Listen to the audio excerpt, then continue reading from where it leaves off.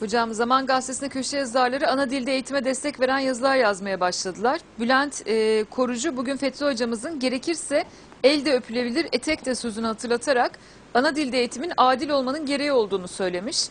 Kardeşim şimdi kafa bulandırmaya gerek yok. Bu adamlar İttihat İslam'dan bahsetmiyor. Türk İslam Birliği'nden bahsetmiyor.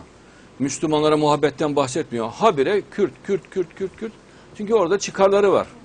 Okul açacak, para kazanacak, kurs açacak, para kazanacak. Şirketler var Irak'ta, orada, burada falan. Zarar görmesin gibisinden bir uslup içinde. Biz onlara Kur'an'ı öğretelim, İslam öğretelim. Komünizmin geçersizliğini anlatalım, Darwinizmin, materyalizmin geçersizliğini anlatalım demiyor adam. Kürtçe öğretelim diyor. Bilmişlik yapmasınlar. Allah yanlarına bırakmaz hatalı bir hareket yaparlarsa. Samimi olsunlar. Biz İslam'ı Kur'an anlatacağız demiyor ki adamlar.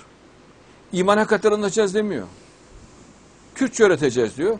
Kürt sorunu var diyor. Ya kardeşim İttihat İslam sorunu var. E sen diyorsun ki İttihat İslam'la ilgili bizim bir sorunumuz yok diyorsun. Samimiyetsizlik yapmayın. Ticari ilişkiler sekteye uğrayacak diye bir uslup geliştiriyorsunuz. Amerika dürttü diye bu şekilde bir tavır ayıp. Para kazanacağız diye bu tip bir tavır ayıp. Allah'tan korkun.